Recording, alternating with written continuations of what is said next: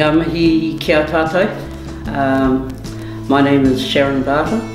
I'm a mokopuna of Waikato, Raukawa and Maniapoto. I'm the national convener of the Runanga of E2. At the moment, um, the Runanga is wanting to focus some attention on the lack of health and safety representation amongst tangata whenua workers in E2. It's really concerning. Uh, the, the highest density in our um, union industries is in community support services and the public and commercial industries where a lot of tangata whenua workers happen to be employed. E2 is a treaty-based organisation.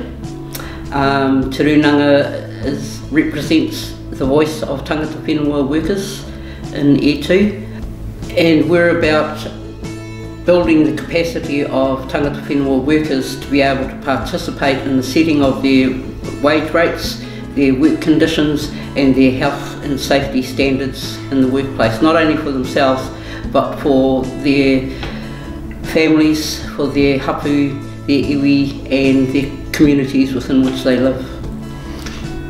Well, according to the 2015 um, statistics, there were 271,000 tangata whenua in the workforce of a total of 2.36 million workers. Uh, the CTU says that there are 60,000 tangata whenua workers in the trade union movement.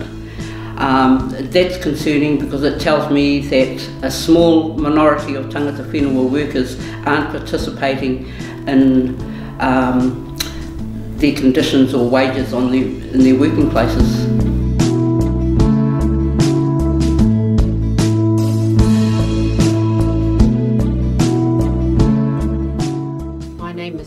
I work for Carter Holt Harvey Wood Products in Tokoroa.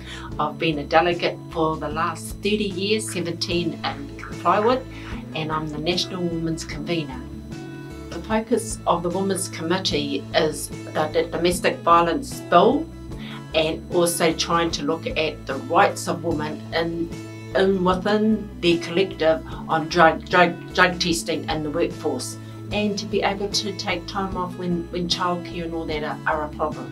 There are over 40% of women in our ETA union. So we're there to represent, their needs and their wants too.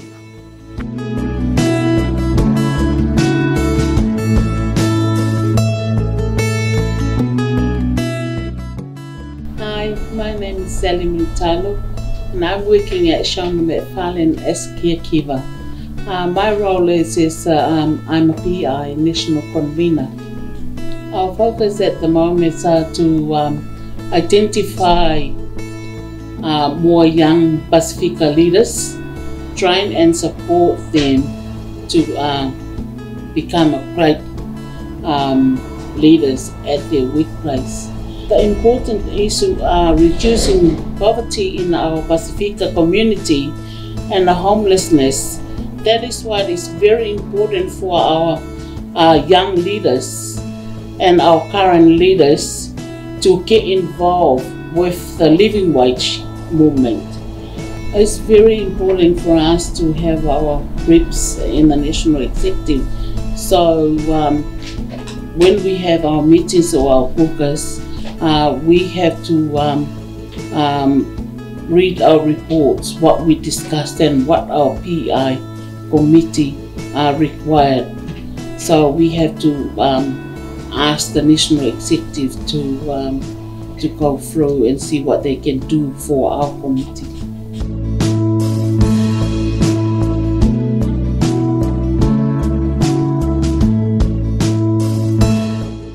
Hi, my name is Emily. I work for Community Connections.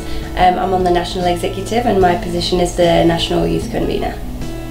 Um, one of the focuses of the Youth Network right now is to build momentum.